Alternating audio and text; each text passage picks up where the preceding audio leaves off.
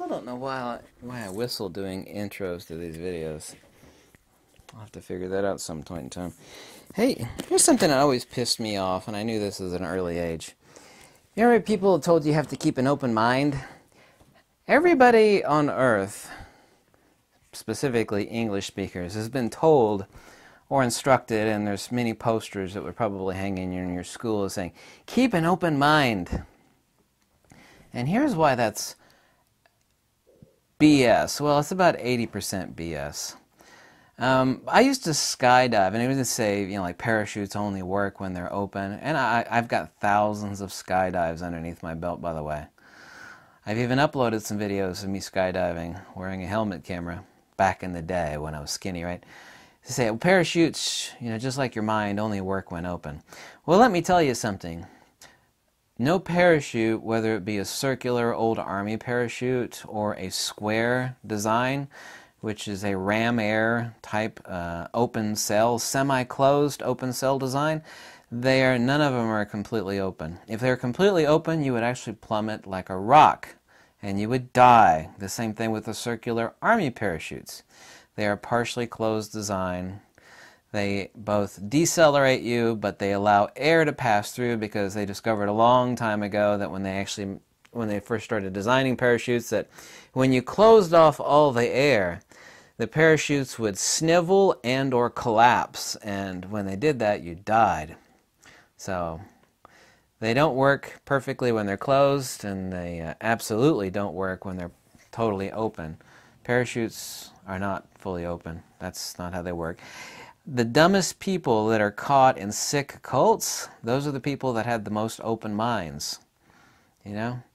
You want to have an open mind like a spaghetti strainer, and then that means they're open to nonsense, bullshit, uh, cult, brainwashing, every form of evil. When you see somebody in a cult, you can see that, and it, you should do this at some point in time, and I did this at an early age, you can see that they had a really, really open mind and that open mind was filled with nonsense, BS, and brainwashing.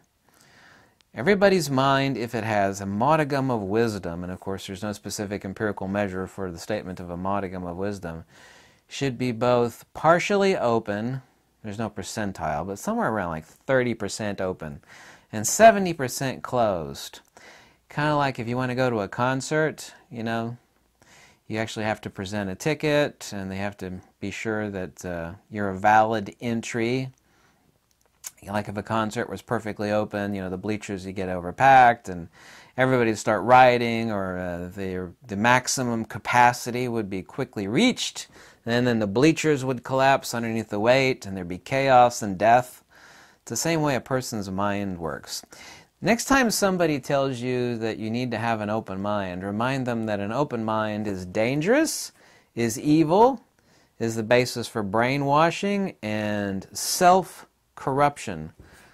Nobody should have an open mind. When someone says you should have an open mind, that is a de facto declarative statement that it should be open, kind of like barn doors. You know?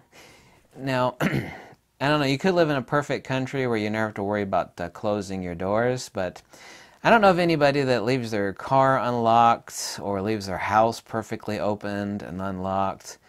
You know, if next time when someone tells you you need to have an open mind, it's like, do you, do you leave your house unlocked when you leave to go on a vacation? No. But you want me to leave my mind open to.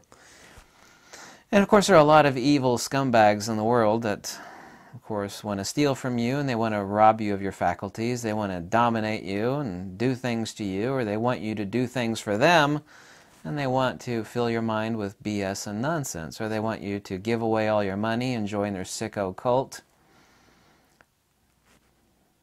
An open mind as a declarative statement, like keep it open, you know, just open up the doors and walk away, is evil, is stupid is unwise. Um, I've I don't know how many thousands, and every one of you too has heard that statement so many times in life. Probably thousands and thousands of times, just like I've heard it thousands of times. An open mind is not a good thing. It's stupid to have an open mind. It's incredibly stupid. Because there are an X number percentage of evil people in the world that will see that your mind is perfectly open. Really? You're gonna sell me? you're, you're gonna you're gonna sell me a deed to the Eiffel Tower? You remember about what was it back in the 60s or 70s or something like that? It was in the 80s. There was this uh, glut of people selling. There were all these certificates uh, printed out. They're fancy looking. It's like the deed to the Brooklyn Bridge. Yeah, yeah, man. You know, for a few thousand dollars, you can literally own the Brooklyn Bridge, and you know you can get your money back. There's all these people, open-minded people. Really? Yeah, that sounds like a pretty good deal for five thousand bucks. There's all these people, like hundreds, that bought a deed to the Brooklyn Bridge. There's some people actually printing them up for the Statue of Liberty. So here's the deed to the to uh, Ellis Island. Not Ellis, was it Ellis Island? Whatever that little island on the Statue of Liberty. It's like, yeah, yeah, yeah. I, you know, my I inherited it from my grandfather. I technically own it, so you know, you could sell it to the government, make some money. There are a lot of people with really open minds that uh, paid a lot of money for the deed.